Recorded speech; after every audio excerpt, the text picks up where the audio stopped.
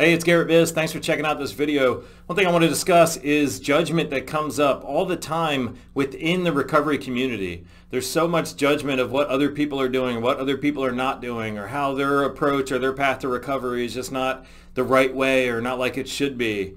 And unfortunately, all this judgment that comes up every time we share an opinion with somebody or suggest that their pathway to recovery is not the best one or not the right one or that they're doing something wrong, Unfortunately, that only fuels that shame and that discomfort in the person who's trying to find their way to recovery, whatever that looks like for them. So one thing I really believe as a professional working with people in recovery and also for any, for any of us in the recovery, uh, in, in that recovery phase of our life, it's not our job to tell other people what their recovery should look like. Uh, everybody's got a different pathway. So there's about 23 to 24 million people in America alone that are living in addiction recovery and an estimated 23 million people that are still in active addiction. Well, for all of those people, for the 47 million people, that's 47 million different individual life paths that got them to that place that they are. And that's 47 million different uh, experiences and nature and nurture and conditioning that got them to where they are. So the idea that any one single pathway is going to help them work out of their issues and, and find themselves uh, established in recovery, uh, it's just not realistic. Everybody needs to take a different journey to becoming that better version of themselves. And so long as they're trying to work on their issues and so long as they're trying to uh, effectively end some of that pain and that suffering in their life and the pain and the suffering that they create in the lives of other people. However they're doing that, I think it's something that we should support. And it might not look like the way that we believe they should approach it. It might not look like the system or the, the, the program that we're following to find our recovery. But as long as it's working for them, I think the best that we can do and what we should do is support them. And one area this comes up a lot is in the discussion of MAT or medically assisted treatment. A lot of people think that MAT is not really recovery. They say that, you know, it's just uh, addiction substitution. You're trading one substance for another.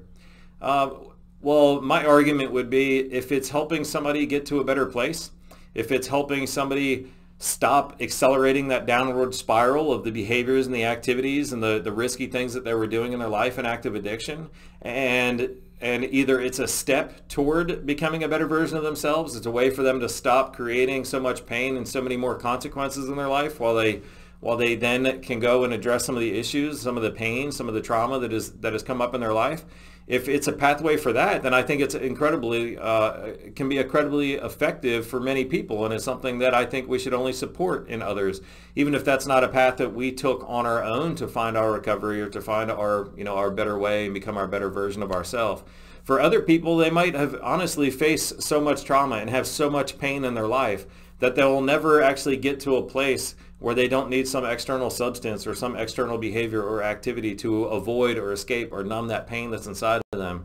And uh, that treatment that they're getting is allowing them to be a much better person themselves. It's allowing them to stop many of those behaviors, many of those activities that were hurting themselves and hurting other people. And if that's the best that they can get to, and that's what their idea of recovery looks like, then I don't see any reason that we shouldn't support that. It might not look like our journey. It might not look like our definition of recovery, but very few things in life uh, are, you know, everything in life is individual to somebody. Very few things in life are universally accepted, whether it's religion, whether it's politics, whether it's our beliefs or understanding about anything in life or anything in the world. So why shouldn't we support somebody else's journey or somebody else's path to their recovery if it's a way that is best suited for them and who are we to define what's best suited for them? So it might not look like us it might not look like our journey it might not look like the program that we're following but if it's something that can effectively help another person it can help ease their pain it can help uh, lessen the suffering that they're going through then why shouldn't we support that? So here's and here's really what four things that anybody should do or anybody needs to do to be successful in recovery. And these are the things that we should all strive for, no matter what our pathway to recovery looks like. The first thing is, first and foremost, don't hurt other people. I mean, that sounds very basic and very obvious, but there's so many things that we can do, even in our recovery, that are still hurting other people, still holding them down, still affecting their self-esteem, their self-efficacy, uh, still fueling shame or judgment in them, and that negatively affects their recovery and their lives. And this can be for people that are in recovery or for just other people that we know, but we should always strive to not hurt other people. Let's stop that poison. Let's stop that pain that we're spreading. The second thing is just strive to be a better version of ourselves. No matter what that looks like, no matter what our pathway is, no matter how we're trying to do that, how uh, the things that we're working on or how we're trying to become that better version, um, as long as we're striving to be better tomorrow than we were yesterday, then I think that's the best that some people can hope for. And, and all of us will find that way, find that pathway in some different form, following some different program, some different philosophy with different resources. But as long as that's our goal is to become a better version of ourselves tomorrow, then I think that's a that's an incredible win. The third thing is that we need to recognize and what we need to do is seek help understand that the limited knowledge that we have, the best that we know, the best thinking that we have at the time is what created us and what put us in those situations that we were. Maybe it was the best that we knew how to deal with the pain in our life. Maybe it was the best that we knew how to try and overcome some of the traumatic events that we've experienced in our past. But realize that we don't have all the resources. We don't have all the information. We don't have everything that we need to find ourselves in, established in recovery and recognize that we are going to have to open up our minds. We are going to have to seek help. Now, sometimes the best that we can do at the moment is just try to maintain. The best that we can do is not continue to try and change and work on things. But with all that we have to invest, all the energy that we have to invest, the best that we can do at that moment is just simply maintain, simply not make things worse than they are, and simply uh, maintain the level that we are. But at some point, we'll get to where we can grow, where we can change, where we are open to making some changes in our life, where we can take on some more information. And we need to be responsible enough to seek help at those times.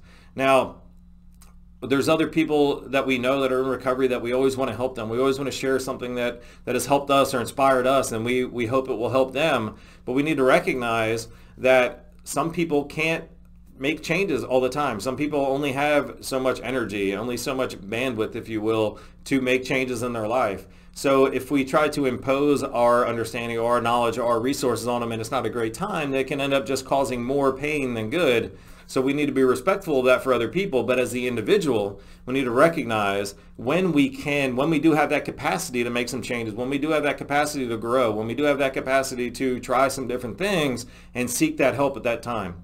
And continue to seek help to find the resources that are right for you. Really, the fourth thing that we need to do is be ourselves and follow the path that is going to help us the most. If you try one program, if you try one approach to recovery and it doesn't fit, if there's just something that, that's not right for you, doesn't resonate well for you, we'll continue to learn, continue to seek other things. You know, there are some programs that aren't good fit for some people uh, for whatever reason, the ideological reasons, belief reasons, or just the, the pathway that they've gone in their life. There's some programs that aren't going to work for a lot of people. And if you find yourself and you've struggled with some approach to your recovery that's not really working for you, then understand and know that there are many other pathways to recovery. There are many other uh, uh, ideologies and philosophies and approaches to recovery and overcoming some of that pain, overcoming some of that trauma and changing our behaviors and our beliefs to help us become that better version of ourselves. There's many different approaches to it. So if you found one that doesn't resonate with you and you just can't you just can't really buy into it and fully integrate yourself into that approach or that philosophy, then go seek that help. Go find another approach. Go find some other resources somewhere. Now, I'm not at all suggesting that we don't uh, have a lot of hard work to do. I'm not suggesting that a pathway to recovery is supposed to be easy. So if you are introduced to a program, you're introduced to a philosophy for recovery, and it doesn't seem like a good fit, you need to really look deep and question, is it just because I don't want to make the changes that they're asking of me? Or is there something fundamental to it that's not a good fit for me? And maybe I need to find something else. Because that program, like we know what we need to do. We know when we need to make changes. We know that there's things that we'll have to do to make those changes in our life. And understanding that sometimes it won't be easy things. Many times it won't be easy things.